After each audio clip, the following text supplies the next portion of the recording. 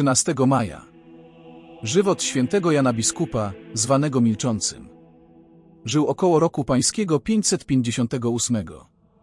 Kościół Święty wzywa nas dziś do uroczystego obchodu pamięci jednego z tych świętych mężów, którego mądrość boska wybrała na to, aby nam dać poznać, do jakiej potęgi dojść może cnota zupełnego oderwania się od złudzeń tego świata. Na tę wielką cześć zasłużył sobie święty Jan, któremu Kościół Święty nadał tytuł honorowy milczącego. Urodził się Jan Święty w roku 454 w mieście Nikopolis w Armenii. Rodzice jego byli majętni i wielkie mieli znaczenie, a przytem odznaczali się głęboką pobożnością i miłością bliźnich. Dzieci starali się wychować w skromności i w bojaźni Bożej, co im obfite przyniosło owoce, wprawdzie nie doczekali się plonu z tego zasiewu, ale dobroć Boga dokonała reszty. Jan, ukończywszy lat 18 życia, stracił rodziców, zostając zarazem panem wielkiego majątku. Pierwszym jego pięknym i pobożnym czynem było, że w rodzinnym mieście wystawił kościół pod opieką Najświętszej Maryi Panny, a przy nim klasztor, do którego sam wstąpił, dobrawszy sobie dziesięciu towarzyszów. Ze stałym zapałem ćwiczył się w pokorze, w odmawianiu sobie wszelkich przyjemności życia, w umartwieniu ciała, a szczególniej w milczeniu. Tylko w szczególniejszych koniecznych przypadkach milczenie to przerywał, ale i wtedy dobierał słów jak najoszczędniej. Stało się, iż towarzysze klasztorni obrali go swoim opatem. Klasztor ten pod jego zarządem wkrótce stał się sławnym na wszystkie strony świata, a imię jego zasłynęło daleko z uczoności. Kiedy umarł biskup koloński, uległ święty Jan rozkazom wyższej władzy kościelnej i objął tę godność. Nawet jako biskup był surowym dla siebie samego i zawsze milczącym, gdzie tylko można było milczenia przestrzegać. Przykładem życia swego pobożnego budził w diecezjanach cześć dla siebie i zjednywał sobie ich serca. Jednego tylko miał nieprzebłaganego nieprzyjaciela w osobie własnego szwagra Pasinikusa, który wszędzie mu dokuczał i krzywdę wyrządzał, opierał się jego rozporządzeniom, ścigał i prześladował kapłanów i gdzie mógł przywłaszczał sobie majątek kościelny. Przez dziesięć lat używał święty Jan wszelkich sposobów dobroci i łagodności wobec bliskiego krewnego, ale na próżno. W końcu, zniewolony udać się do cesarza Zenona do Konstantynopola ze skargą na szwagra, uzyskał sprawiedliwość i Pasinikusa odsunięto od wpływu i znaczenia, jakie miał w rządzie cesarskim. Jednocześnie uprosił sobie święty Jan u patriarchy, że mu dozwolono zrzec się godności biskupiej i powrócić do klasztoru. Mając lat 38 pośpieszył do Jerozolimy do klasztoru pod opieką świętego Saby i prosił o przyjęcie do grona zakonników. Nikt go tam nie znał, nikomu też nie zwierzył się, kim był. Saba zaś sądząc, że to nowicjusz w życiu zakonnym, przeznaczył go na pomocnika klasztornemu szafarzowi.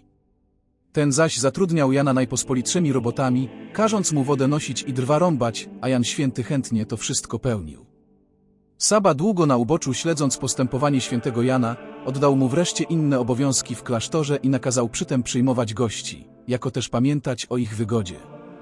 I tym obowiązkom podlał się święty Jan z chęcią, a opat przekonał się wkrótce, że to mąż świętobliwy i udzielił mu na jego prośbę na mieszkanie chatę pustelniczą, położoną wśród lasu.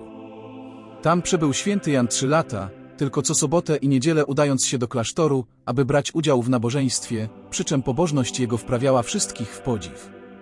Z tej słodkiej dlań samotności wyrwał go jednak opat, ustanawiając go szafarzem klasztoru, w których to obowiązkach święty Jan cztery lata przetrwał.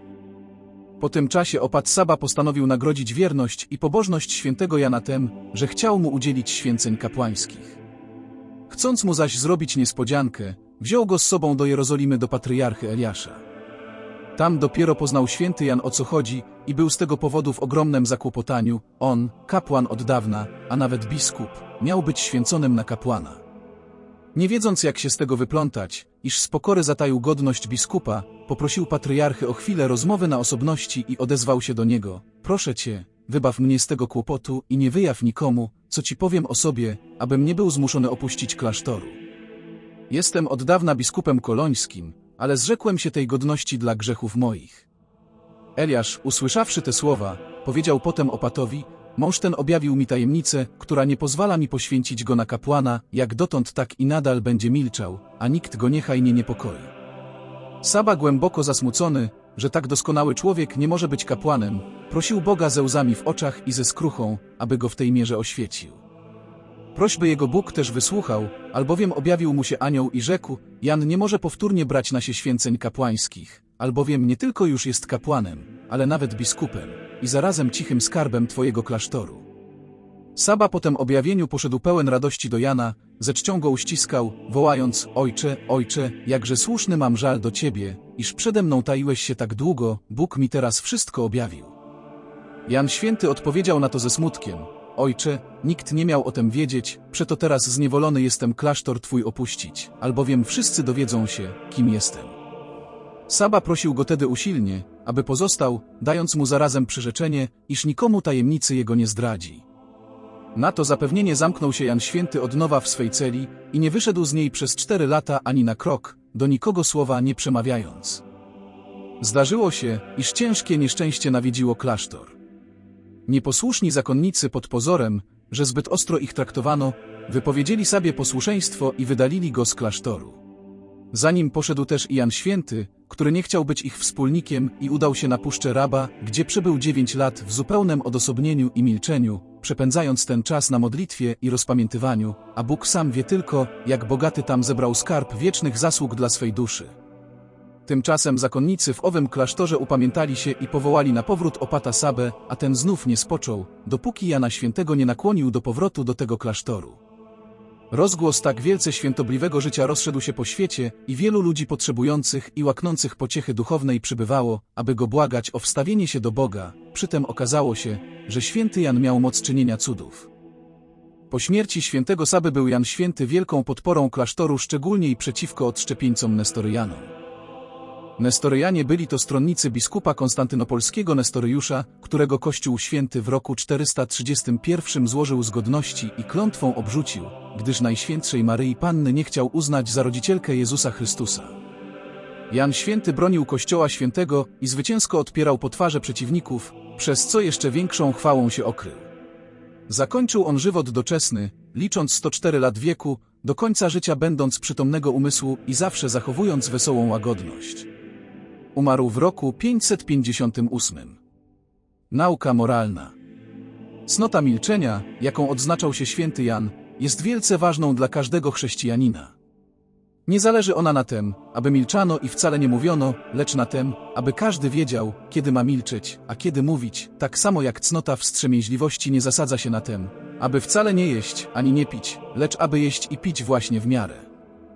Święty Jan wprawdzie dużo milczał, ale w danym razie, gdzie było potrzeba, przemawiał w sposób bardzo jasny i dobitny tam, gdzie mu obowiązek nakazywał i gdzie czuł, że mową swą dużo dobrego zdziała.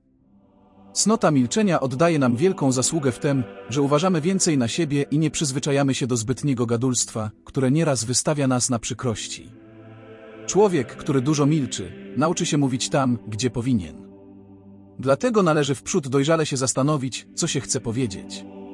Święty Bonaventura powiada, że w zabieraniu głosu należy się być tak ostrożnym i oszczędnym, jakim jest skąpiec w wydawaniu pieniędzy. Należy rozważyć wprzód, co się ma mówić i jakim zamiarze, a przytem pamiętać zawsze o tem, przy kim i do kogo się mówi, aby nie mówić niestosownie. Święty Bernard widzi w tym znak dobrego wychowania i skromności, jeśli młodzieńcy milczą wobec dorosłych i duchownych. Należy zawsze mówić w porę, słowo w porę wypowiedziane jest jak złote jabłko na srebrnym półmisku. Niestosownem jest pod każdym względem odzywać się, jeżeli ktoś inny przemawia.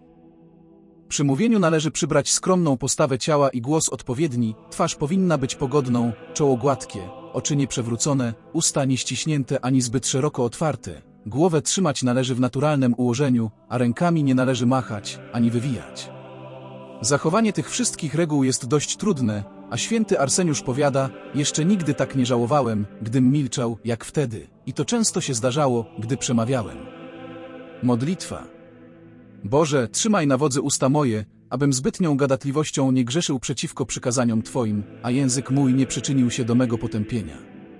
Przez Pana naszego Jezusa Chrystusa, który króluje w niebie i na ziemi. Amen. Kochani, nauki katolickie rozrastają się dzięki Wam, wiele osób się nawraca, dla tysięcy osób jesteśmy pomocą w rozwoju duchowym, wychowaniu, poznaniu na nowo wiary katolickiej, a ku temu potrzebne jest Wasze wsparcie modlitewne i materialne, za które z całego serca ogromne Bóg zapłać. Jeżeli nauki pomagają też Tobie i chcesz przekazać dobrowolną jałmużnę dla rozwoju nauk i ku większej chwale Bożej, to możliwości przekazania jałmużny znajdziesz w opisie filmu. Jeżeli nas już wspierasz, to zachęcamy do włączenia wsparcia cyklicznego co miesiąc, dzięki temu możemy lepiej zaplanować nasze dalsze działania. Jeżeli nie wiesz jak to zrobić, to napisz do nas przez formularz kontaktowy w opisie filmu. Przypominamy, że za każdego darczyńcę i bliskich sercu darczyńcy odprawiana jest msza święta. Jeżeli jeszcze nie należysz do grona członków nauk katolickich, link do zapisu znajdziesz w opisie filmu. Linki do przekazania dobrowolnej jałmużny oraz do zapisania się do nauk znajdziesz w opisie filmu. Chcesz zrobić coś dobrego, wyślij te nauki do znajomego.